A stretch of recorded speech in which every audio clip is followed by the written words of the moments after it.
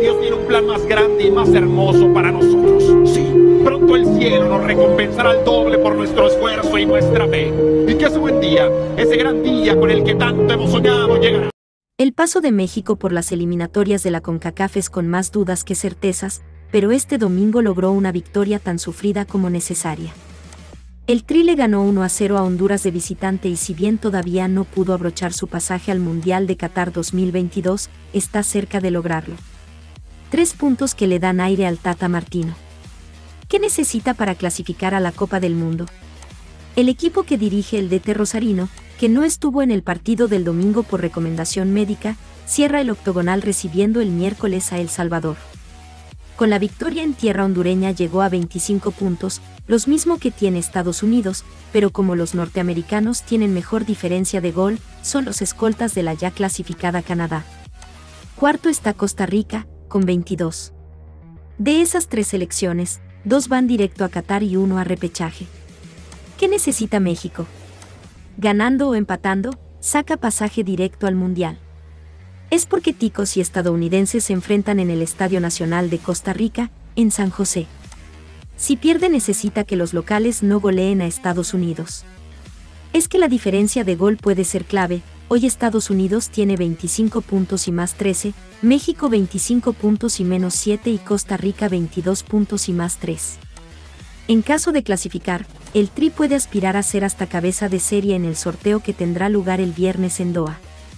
Se deben dar algunos resultados, sobre todo que Portugal no le gane a Macedonia y clasifique. Si los de Cristiano Ronaldo pasan, México irá al bombo 2, es decir que le podría tocar jugar contra Argentina. Ya está todo liquidado. Yo el viernes a Gonzalo y a Isabel les decía, voy a hacer fiestas, porque se estaban dando los cruces de resultados, las especulaciones, y dije, el domingo queda todo liquidado. Y queda todo, quedó todo liquidado. Este, Honduras no necesita jugar con Panamá para demostrar que fue la peor selección de este torneo. Y creo que ni se necesitan jugar los partidos para entender que Canadá, Estados Unidos y México van al Mundial y que Costa Rica va a jugar con Nueva Zelanda. Yo no sé si estábamos tan convencidos que a estas alturas íbamos a decir o calificar que éramos, seguíamos siendo la peor selección porque uno cree que hay, con síntomas de cambio, con un nuevo entrenador, Honduras podría tener eh, un mejor estatus en la eliminatoria. Por lo menos yo estaba en ese barco. si todos, porque yo creí que Honduras podía tener alguna reacción en algún momento para quitarnos la etiqueta de ser la peor selección de CONCACAF. Eh, tan, tan, tan superior. Creo que anotó dos en cuatro partidos. Creo que el ataque de Honduras, eh, débil, adébico que tuvo hoy, lo condena el planteamiento del técnico un planteamiento muy conservador, respetando bastante al rival, incluso con ciertos temores, que México, yo pensé que el partido pudo haber sido un poco por momentos de tu Estás eliminado. Fue en el primer tiempo. ¿Estás fuera del mundial? En el, en, el, en el primer tiempo fue de tú a tú. Porque ahí, cuando, cuando Honduras tuvo los tres volantes de marca, este, se repartieron un poco pero en definitiva cayeron los dos en la inoperancia. Un tubo a de defensa para defenderte. Y, lo decía, lo, dijo Bolívar. dijo en la previa, dijo, eh, por preguntándole respecto al juego de Panamá, de qué esperar contra México. Y él dice, en estos momentos yo no veo a la selección hondureña siendo protagonista.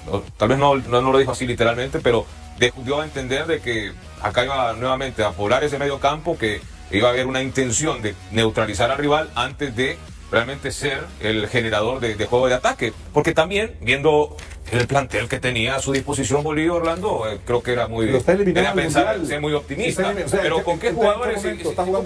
¿Con la Cayo? No, pero, con, con, con Solano y Solano. Había, con estos futbolistas pretendía realmente Honduras ser más protagonista con el balón. No, a mí me parece una, un planteamiento también inteligente de, de Bolívar, de, ponerlo. Mejoró Honduras con Alfredo que con Juan Ángel Delgado, la verdad, lo que dijo Panamá me pareció que Alfredo. A mí me pareció un planteamiento miedoso por parte de Honduras. Tuvo bastantes eh, temores que pudiera perder eh, ante México con una buena diferencia. Y tomando en cuenta que Honduras llegaba hace días que está eliminado, yo esperaba, con los jugadores que tenía ahí, porque yo no voy a hablar de otros jugadores, que Honduras iba a hacer un planteamiento de más, arriesgar más. Un déficit físico, lo mencionábamos en la radio. Este, pero no de los jugadores que actúan en Europa, de toda la selección de México, que también tiene futbolistas que no actúan en Europa y realmente superó a Honduras desde el punto de vista físico. Este, con el tema más general de los futbolistas, y de la defensa y del ataque. Me parece que en su comparecencia el entrenador este, abre eh, abanicos por donde puede transitar con mayor soltura y comodidad ante algunas preguntas apremiantes. Este, insiste con la herencia, insiste con que llegó a quemar ropa y que en definitiva era muy difícil este, levantar a, esta selección, por más que su discurso original fue de mucha esperanza, de mucha expectativa y de que en el tiempo que tenía por delante se podía recuperar notoriamente la sumergida posición que Honduras tenía en la tabla de posiciones, de la cual no ha salido, lamentablemente no ha salido. Entonces creo que en esta comparecencia hay muchos eh, puntos este, relacionados con el partido, que es lo que deberíamos analizar, y, lo otro es, es más de lo mismo. Es un hábil declarante, Gómez, en cuanto a abrir abanicos por los cuales dialécticamente puede transitar con cierto confort. Eh, nosotros podemos tener una opinión, Orlando, pero no decidimos. No, decidimos ni quiénes llegan a dirigir el fútbol. No, no decidimos, pero y, yo creo que los, los directivos que están adentro tampoco, yo creo que saben los, los problemas que hay, desde lo presupuestario hasta lo operacional. Pero son parte del problema. Pero no decidís, pero puedes ayudar a decidir. Podés influir, ¿Cómo? podés aportar o podés influir con tus opiniones, con tus ilustraciones, como la televisión, por ejemplo, te digo, para ayudar. Somos, somos opinólogos. Y claro, por ejemplo, la opinión era al principio que fuera Fabián Coito. Que Coito era el problema. Salió Fabián Coito, trae un técnico con el recorrido de Bolillo y no fue la, solución. Y en base a una opinión de, lo que pasaba con Fabián Coito, que tuvo muchos errores y que y, y también es, claro, responsable, parte responsable de lo que hemos vivido, eh, pero ese tipo de opiniones tampoco son eh, o sea, no, no, no yo, ¿Qué experiencia tengo yo dirigiendo en el no, fútbol? opiniones periodísticas. Ahí se basan los resultados negativos que tenía bueno. y que el proceso se había descompuesto. Pero por ejemplo, fíjate que a mí me contaban los entrenadores, podés medir las velocidades de los jugadores. ¿Con qué velocidad se juega en Honduras con respecto a México, Estados, Unidos, Canadá. Costa Rica? ¿Con qué velocidad se juega aquí? ¿Cuánto es el recorrido de los jugadores de Honduras en los partidos de la Liga Nacional. Pero ¿sabés cuál fue el mejor rendimiento defensivo de Honduras en toda la eliminatoria? Estos dos últimos partidos con cuatro jugadores de la Liga Nacional. Eso es, eso es paradójico. no, sí es paradójico porque consideramos que la Liga de Honduras no tiene un buen nivel. Son cuestiones puntuales. Pero... El buen rendimiento defensivo de estos dos partidos no es por, por, por, por cómo vienen desde las bases estos jugadores, ni tampoco es por la buena elección de los federativos, del técnico de turno. Es el partido que, hay, que se juega. O sea, los 24 puntos de rueda no fueron por arte de magia. Fue la suma de un partido, más otro partido, más otro partido. Y nos pusimos a pensar cómo trabajábamos en la época de rueda en las fuerzas básicas. Éramos un desastre, igual que hoy.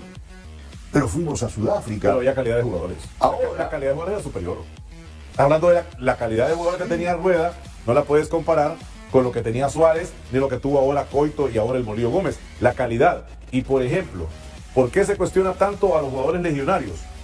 Realmente los jugadores legionarios que vienen a la selección ofrecen el rendimiento que deberían ofrecer conociendo sus condiciones, algunos no. Podría ser subjetivo, ¿Qué tipo de jugadores los rodean? Porque les echamos la culpa a ellos. Pero el resto de los jugadores que se convocan, porque han habido como 70 convocatorias en todo el proceso, ¿cuál ha sido el aporte de estos jugadores? ¿Cuál es el nivel de liga que tenemos? Liga Nacional en Honduras, una liga de 10 equipos. Es más, el técnico Hernán Gómez, que él asegura y los directivos que va a seguir, está pidiéndole a la federación y a la liga que tengan 12 equipos. Es un desastre eso. Es la primera división. Pero, un desastre pero volvemos, a volvemos a las percepciones. La, la, percepción que tenemos entonces de, Honduras como, como, como país, como fútbol, eh, es, eh, ¿son estos cuatro puntos realmente lo que somos? ¿Hemos estado engañados? Eh, ¿O es simplemente esta generación que no es tan buena como lo fueron otros, que eso es lógico, yo creo que una conclusión fácil es esa, no ves la calidad de los jugadores que tenés. Pero hay otros aspectos, hay otros aspectos que en esta eliminatoria se han dado para que Honduras esté donde esté, más allá de las malas canchas, que son un desastre, o de la mala administración de la liga, pero yo sigo, yo sigo creyendo al menos que nuestros jugadores están para, para un mejor rendimiento. Yo sigo creyendo que nosotros estamos para estar peleando un cuarto lugar. Al menos, no estar abajo de El Salvador y Jamaica, que nos superaron. con eso. Me parece que es una opinión presumida. Por lo que, por lo que, por lo que Honduras ha ofrecido en la eliminatoria, tal vez no para estar en el último lugar. Creo que, que Honduras esté en el último lugar es un accidente. Yo siento, en el último lugar. Yo siento que no tiene nivel competitivo es la, es la oportunidad para revisar muchas cosas. Esto que estemos en cuarto, en último lugar, con la cantidad de puntos, es la gran oportunidad para revisar. Para revisar. ¿Qué cosas? El, el, el, el, fútbol en general, Orlando, la Liga Nacional. Eh, tiene un formato de calendario o tiene un formato de... Dios tiene un plan más grande y más hermoso para nosotros. Sí, pronto el cielo nos recompensará al doble por nuestro esfuerzo y nuestra fe. Y que ese buen día, ese gran día con el que tanto hemos soñado, llegará.